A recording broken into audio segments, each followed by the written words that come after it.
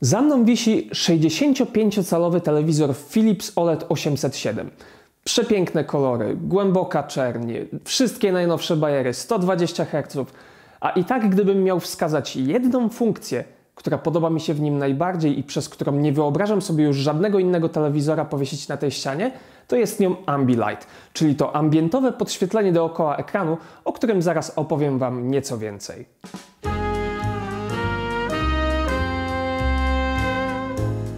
W telegraficznym skrócie, czym jest Ambilight? To jest podświetlenie tyłu telewizora. Z tyłu znajdują się diody, zależnie od tego, jaki model wybierzemy. Są to diody skierowane trzystronnie, czyli z góry i z boków, lub czterostronnie, tak jak tutaj, czyli z góry, z boków i od dołu.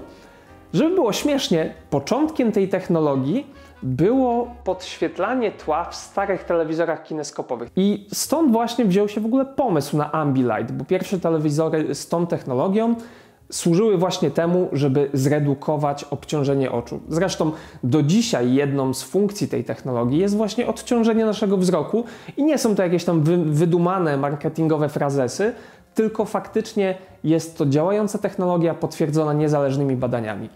Ale przejdźmy do tego, co Ambilight robi najlepiej, czyli no, dodaje tą imersję, jakiej naprawdę próżno szukać gdziekolwiek indziej. Z początku myślałem, że to Ambilight to jest taki bajer troszeczkę niezbyt użyteczny, może fajnie wygląda, ale można bez tego żyć. A teraz po ponad miesiącu z tym telewizorem stwierdzam, że nie. Kto raz spróbuje Ambilighta, ten nie wróci do telewizora bez Ambilighta, bo tak ogromną różnicę robi to podświetlenie. Jak to działa? Tak jak wspominałem, z każdej strony, czyli z góry, z boków i od dołu, mamy paski LEDów, które mogą się dynamicznie dostosowywać do tego, co widzimy na ekranie. Czyli jeżeli, tak jak widzicie, teraz sobie latają tam jakieś kulki i zależnie od tego, jak te kulki zmieniają kolor, tak zmienia się kolor podświetlenia.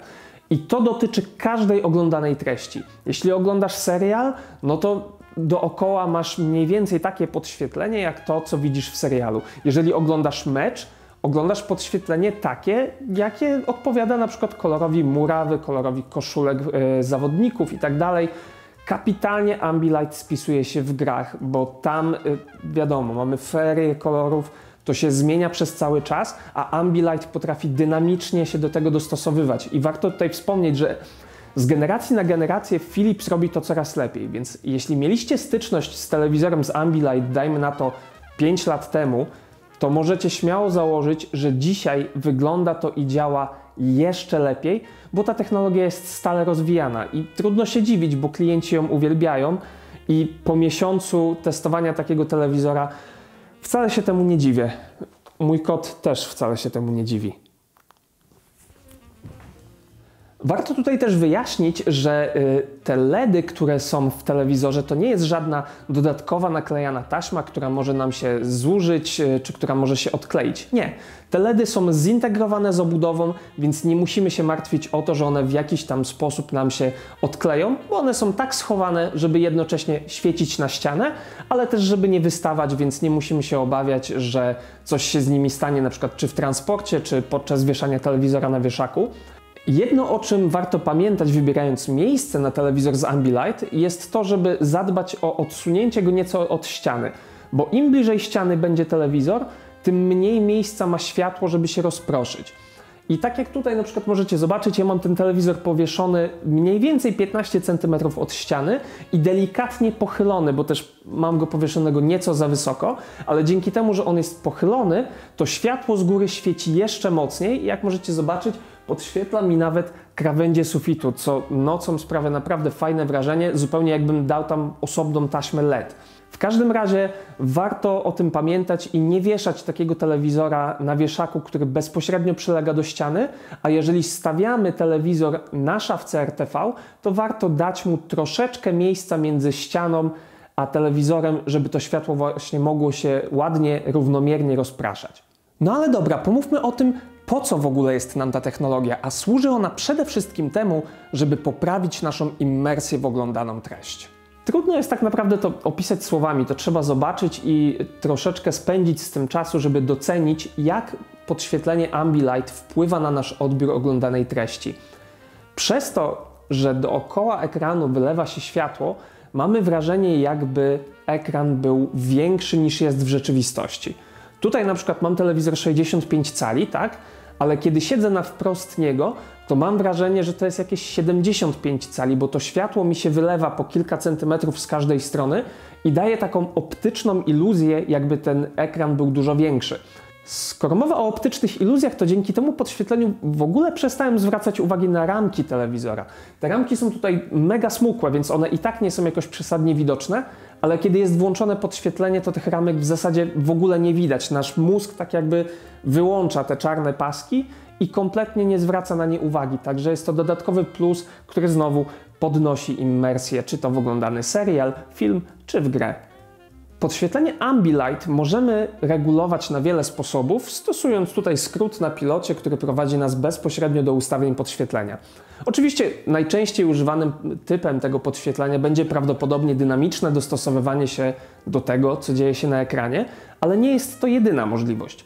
Możemy oczywiście też zmienić kolor tego podświetlenia, możemy zmienić jego nasycenie, jego intensywność, ale możemy też wybrać na przykład, żeby te kolory się przewijały niezależnie od tego, co dzieje się na ekranie.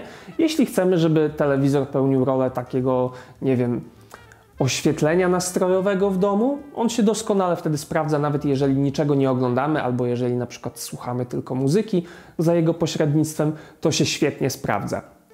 Z ciekawych funkcji skończył się mundial w Katarze i w, na telewizorach Philipsa można wybrać tak zwany tryb flagi, w którym Ambilight dostosowuje kolorystykę do flagi danej drużyny narodowej. Całkiem fajny bajer i wiem, że posiadacze telewizorów Philipsa aktywnie z tego korzystali podczas ostatnich Mistrzostw Świata.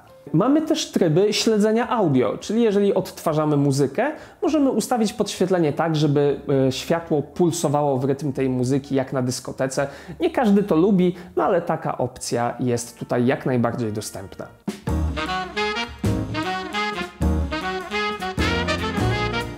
Ktoś może pomyśleć, że skoro Ambilight potrafi tak wiele i tak wiele zmienia, to będzie to technologia zarezerwowana tylko dla najdroższych telewizorów. Nic bardziej mylnego, cytując klasyka, bo technologię Ambilight znajdziemy w telewizorach Philipsa kosztujących już nieco ponad 1500 zł, jak również we wszystkich telewizorach tego producenta z wyższej półki cenowej.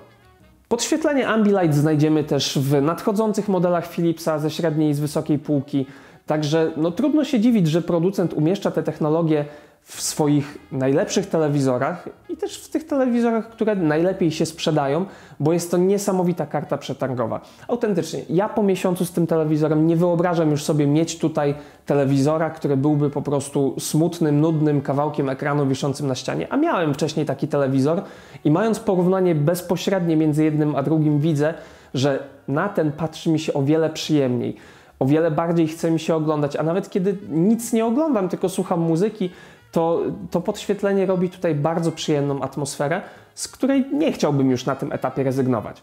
I nawet jeśli z początku Philips Ambilight może się wydawać technologią może zbędną, może po prostu bajerancką, bez praktycznych zastosowań, to wystarczy dać jej szansę i spędzić z nią chwilę czasu, żeby przekonać się, że jest to jedna z tych technologii, które naprawdę zmieniają życie, bo nie tylko pozytywnie wpływa ona na nasz wzrok, na nasze zdrowie, ale też znacząco zmienia sposób, w jaki korzystamy z telewizora. I możecie mi wierzyć, że kto raz spróbuje telewizora z Ambilight, ten nie wróci już do zwykłego telewizora. A teraz dajcie łapkę w górę, zostawcie komentarz, dajcie znać, czy macie telewizor z Ambilight, czy chcielibyście mieć telewizor z Ambilight, jak oceniacie te technologie, a my widzimy się w kolejnym materiale. Cześć!